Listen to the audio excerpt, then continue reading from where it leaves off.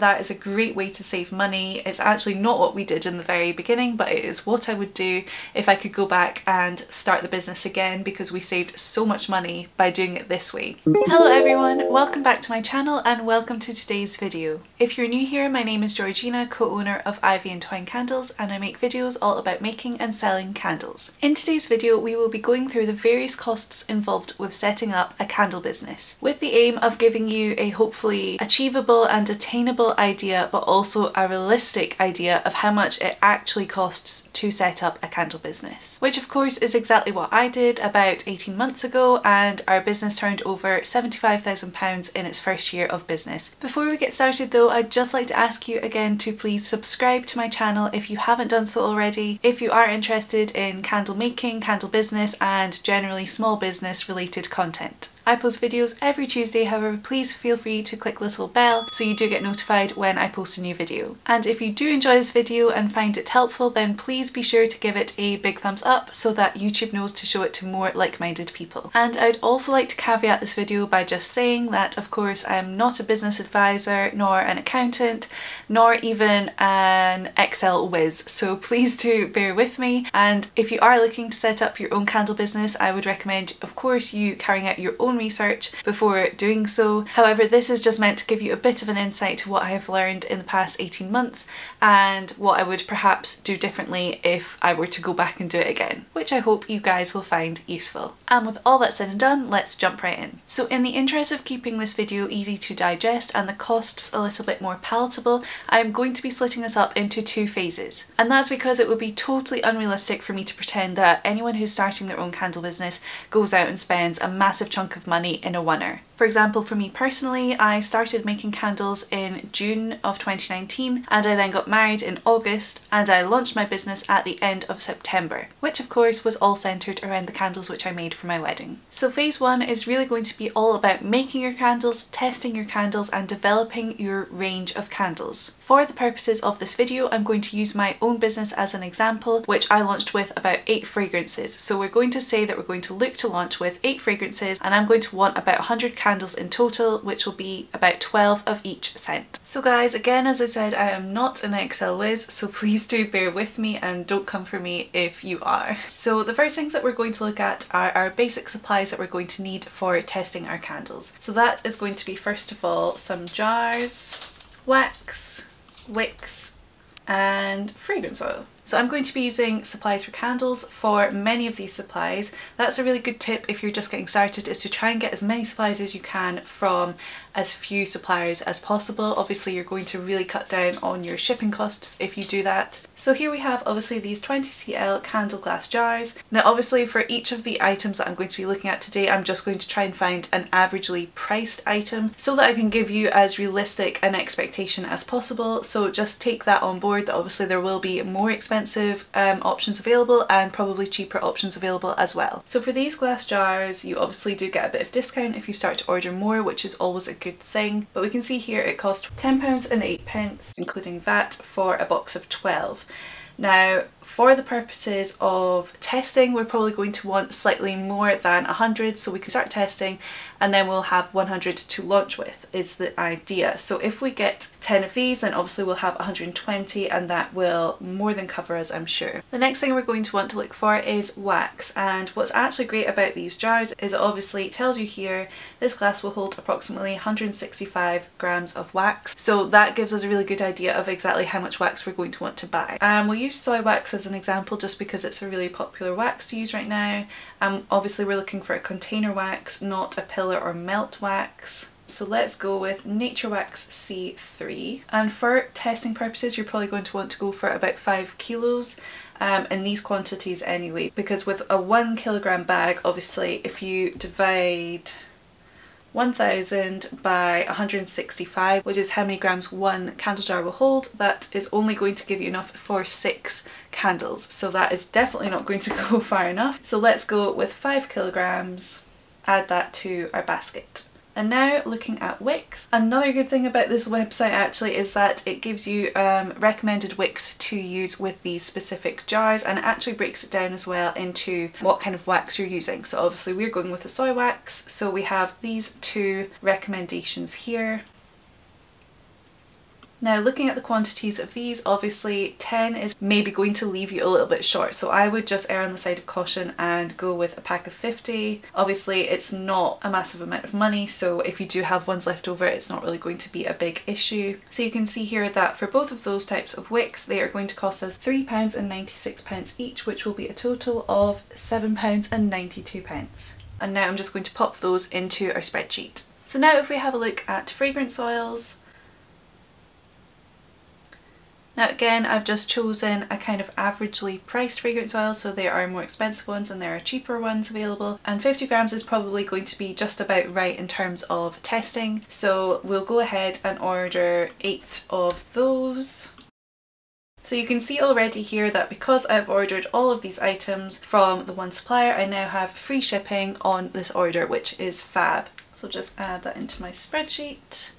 And there we have £163 and 35 pence. Okay, obviously the next thing that you're going to need is some equipment to make your candles with. In my last video here I actually did talk all about some great pieces of equipment so I will add that into the description box below if you would like to go and check that out. So the first thing that you're going to need is of course a good jug to melt your wax in and I have allowed £20 for this. Now I know that that might seem a little bit steep for a jug but I am going to put that one in there because I have in the past bought and tried to use cheaper ones which are much smaller and honestly having a really good sized jug is just going to make things so much easier for you so this is the jug which I would recommend and I've just checked and I bought this in August of 2019 so it was actually before I launched that I had this. Um, it's great because this is a 3 litre capacity jug. From this size I can get about 15 candles worth and it has a plastic candle which is obviously great if you're using the double boiler method because it's not going to get too hot when you're taking it out of the pot or pan that you're using. The next thing that you're going to need are your scales and I would recommend having a small set of very accurate scales scales which you can use for your fragrance oils because in terms of safety it's really important that you get that right.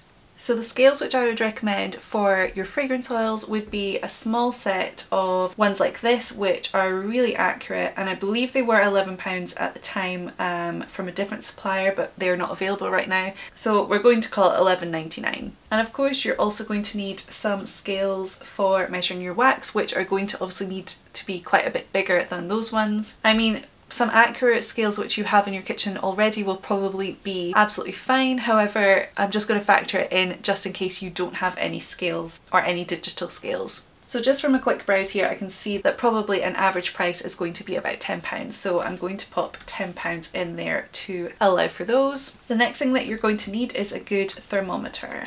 So the thermometer which I recommended in my Amazon equipment video that I just did, they were about £20, £22 um, and they are brilliant. They have an alarm on them so it'll let you know obviously when your wax is at a specific temperature. However when I first got started I was just using something similar to these thermometers um, which are obviously slightly cheaper.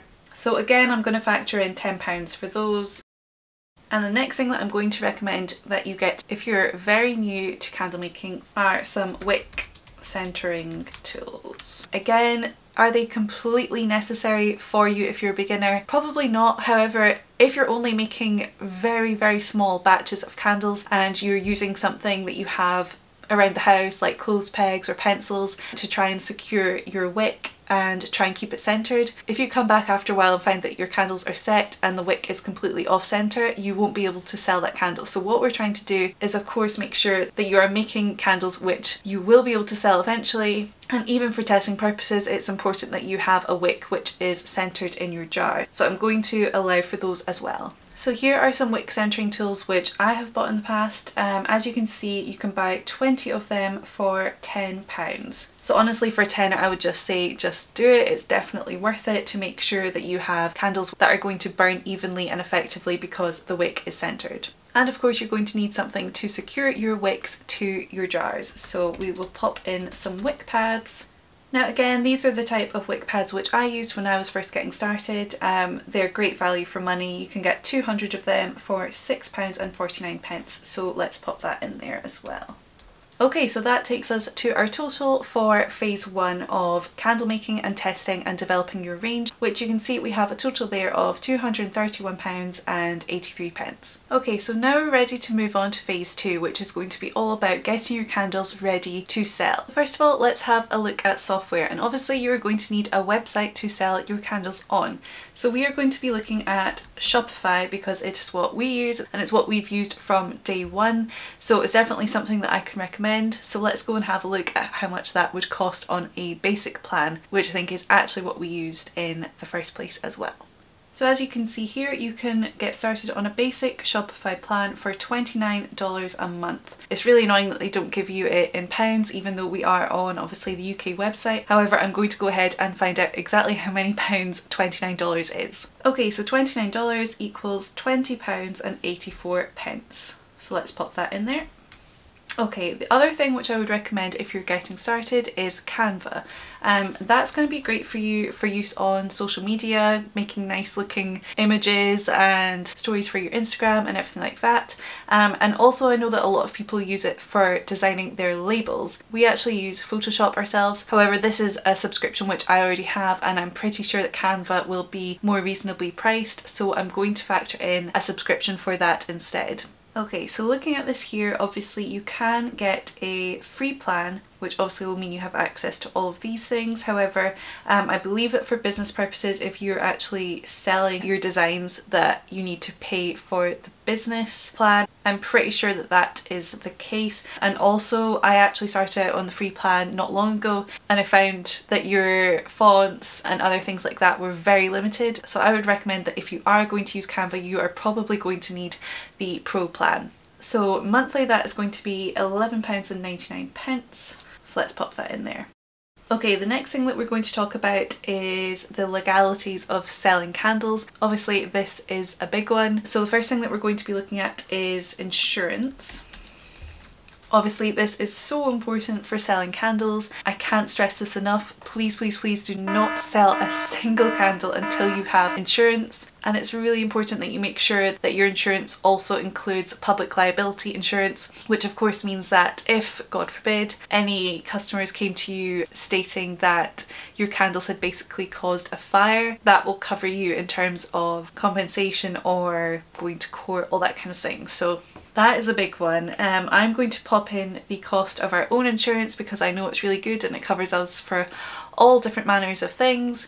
So our insurance is £400 a year. Again, that might seem a lot, but I think it's just something that we obviously have to do as a business to be safe and make sure that um, our backs are covered if anything untoward was to happen. And we pay that monthly, so that works out obviously at just over £33 a month and it's not percent uh, interest to pay it monthly. So when you are offered that and you obviously don't want to or can't afford to spend £400 on insurance in a winner, it's not costing you any more money to pay it monthly. So I'm going to pop that in as a monthly cost rather than an annual cost. Okay, so the other thing that you're going to need for selling your candles, of course, are labels. Most people have a CLP slash warning label. Obviously, you can have those separately. However, for us personally, we have always had our CLP and our warning labels combined into the one label. So if you can do that, then I would definitely recommend doing that because obviously you're just going to save on the cost of an extra label on your candles. And then you will also have a label on the front of your products stating your brand name, the fragrance name, um, some other properties that you want people to know about, like what kind of wax it is or where it's made, things like that. So let's pop labels in there. Now if you can, I would definitely recommend ordering blank labels from a company like Avery. I'm just going to use them as an example here because it's what we used. That is a great way to save money. It's actually not what we did in the very beginning, but it is what I would do if I could go back and start the business again because we saved so much money by doing it this way. So let's just have a look at the price of these. So you can get 120 labels on five sheets uh, which works at 96 pence a sheet so that is a total of £4 and 80 pence. So I'm actually going to break this up into CLP labels and that's £4.80 for those and your normal candle labels. So again, let's say that you want to order these specific labels. Um, they are just white labels, square, um, probably a pretty common shape of labels for candles. So let's say that you are ordering eight sheets of those, which equals 120 labels. That will come to a total of £5.88. Obviously they're slightly more expensive because they're slightly bigger. And the next thing that we're going to talk about is postage and packaging. Okay, so here we have an option on rajapack.co.uk for just a brown box. A good tip for you again is that if you're looking to keep your cost low in terms of packaging boxes is that brown boxes are always cheaper than white boxes or other coloured boxes. Obviously it's the natural colour of the cardboard so they don't need to go through another process to make them a different colour. So I would definitely recommend that if you're just looking for the most affordable way to send your products and you don't really mind that it's in a brown box rather than a white box or a black box then just go with the brown ones because it's going to save you a little bit of money. It's not going to be a massive amount but it is worth bearing in mind. And we can see here that for 25 it will cost us 62 pence a box whereas obviously as I was saying if you're buying the same ones in white the exact same measurements then it's going to cost you 79 pence per box so it's a little bit different. Then looking here at these boxes which I've added to my basket these will probably be enough for sending two candles in. Obviously it depends the size and dimensions of your candles but to me it looks like this will be a good kind of size for two candles. And you can see here that again we've got free delivery so that's great. And with that that comes to a total of £49 and 80 pence.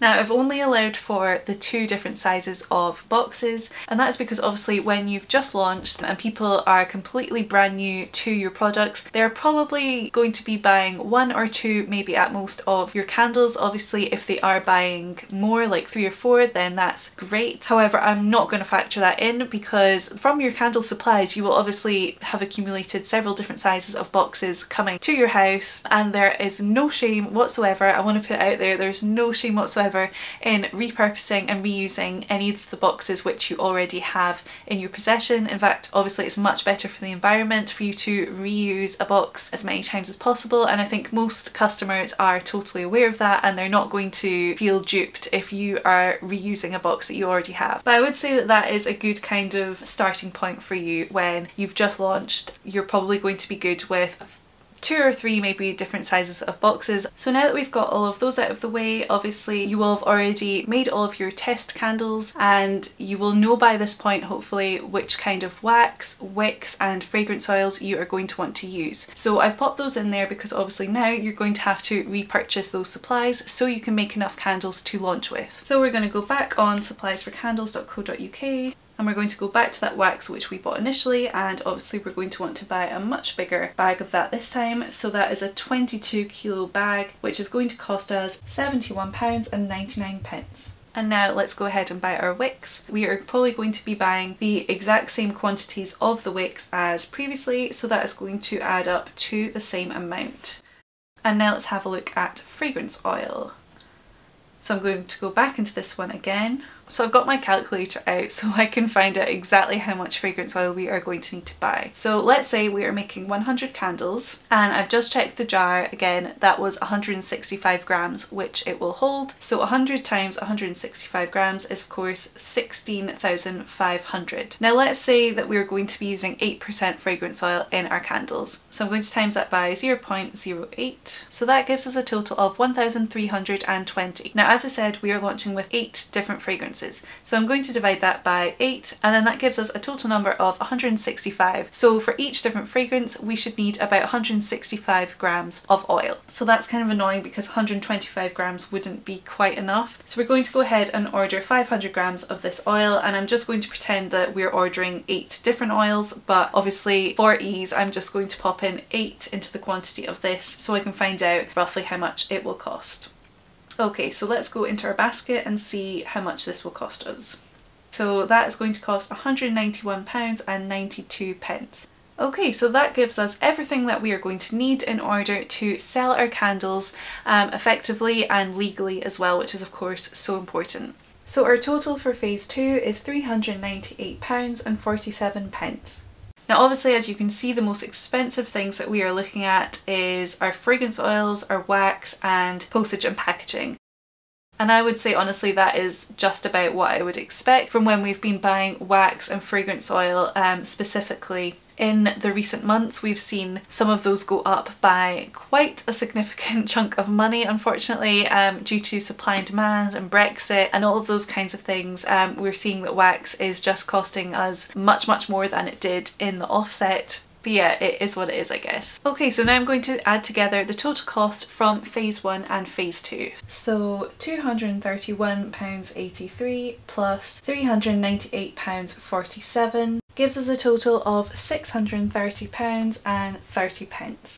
So that might seem like an awful lot of money, however I would say that that is actually a pretty realistic amount of money that it could cost someone to buy all of those different supplies and equipment and software etc in order to be able to get ready to sell their candles in a business format. And I think it's really important that we raise awareness of all of these different costs involved. I've certainly seen a fair amount of kind of clickbaity articles and social media posts since I started of people saying I've managed to grow my business into the millions and it cost me only £50 to get started. Yeah, so my only hope here is that I have just kind of raised awareness, as I said, of how much it could cost you and hopefully that number doesn't seem too daunting. Of course there are no hard and fast rules as to how long it has to take you. Obviously it completely depends on your own personal circumstances but there's nothing to say that you couldn't buy all of those initial supplies and equipment etc over you know six months to a year if if that is what suits you.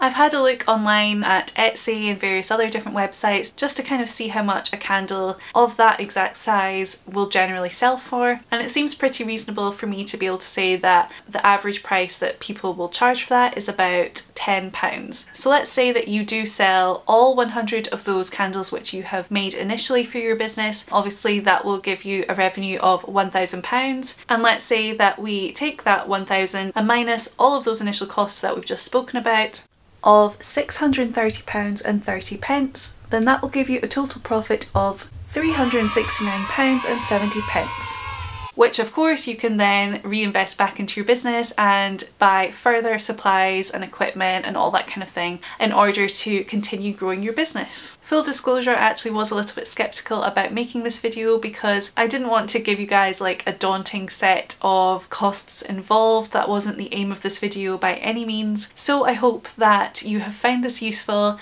and I'd be really interested to know if these costs are what you had imagined or if they're less or more. Please do let me know in the comment section below. I would love to hear your thoughts and opinions. And as I said at the start, if you did enjoy this video and found it useful, then please do give it a big thumbs up. It would really help me and my channel. I hope you have a lovely day and thank you so much for watching and I will see you in the next one. Bye guys!